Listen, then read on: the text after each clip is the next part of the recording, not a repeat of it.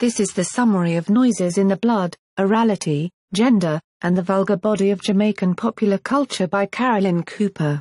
The language of Jamaican popular culture its folklore, idioms, music, poetry, song even when written is based on a tradition of sound, an orality that has often been denigrated as not worthy of serious study.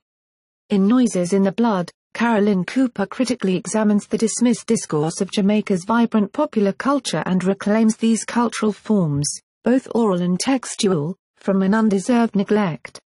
Cooper's exploration of Jamaican popular culture covers a wide range of topics, including Bob Marley's lyrics, the performance poetry of Louise Bennett, Mikey Smith, and Jean Binta Breeze, Michael Thelwell's novelization of The Harder They Come, the Sistren Theatre Collective's Lionheart Gal, and the vitality of the Jamaican DJ culture.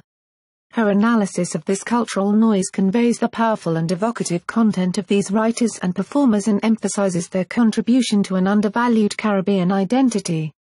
Making the connection between this orality, the feminized Jamaican mother tongue, and the characterization of this culture as low or coarse or vulgar, she incorporates issues of gender into her post-colonial perspective. Cooper powerfully argues that these contemporary vernacular forms must be recognized as genuine expressions of Jamaican culture and as expressions of resistance to marginalization, racism, and sexism. With its focus on the continuum of oral textual performance in Jamaican culture, Noises in the Blood, vividly and stylishly written, offers a distinctive approach to Caribbean cultural studies. For more history books and book reviews visit www.historybookmix.com.